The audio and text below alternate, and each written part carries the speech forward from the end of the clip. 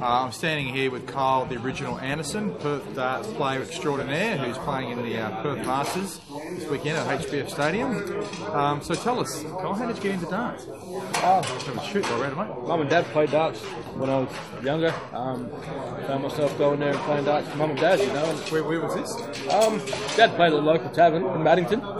Um, Mum also did as well. So um, I just found myself going along. You know, Bo played as well. The older brother played, and once you see your brother succeed at something, you just want to get into it yourself. And it's, that's how When did you find yourself thinking, oh, actually, you know, I'm not, I'm not too bad at this? Um, I made the WA state team or junior state team when I was 11. So um, once that happened, I um, thought to myself, well, you can keep going.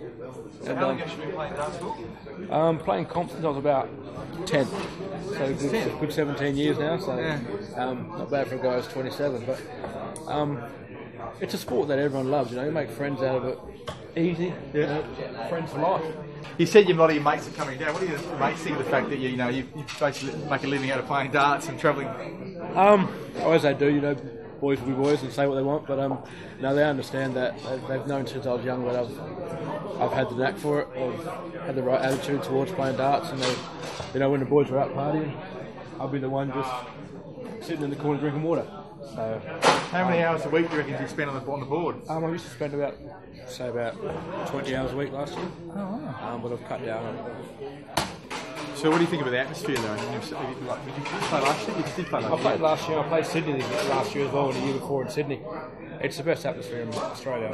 Perth is. It is because you've got we've been starved for that long for darts like this, and when it came through, it just I think it blew a couple of guys away last year because how, how loud and how um, how knowledgeable the fans were. Because Perth is a good dart state, so a lot of the boys that went there and all the guys that went were dart players, so they knew everything about it and knew who the people were.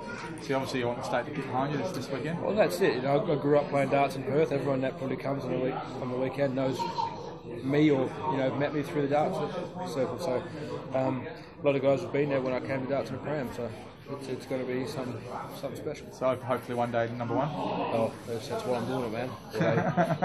There's always hope to get to number one, and if you get there, you know, you've made.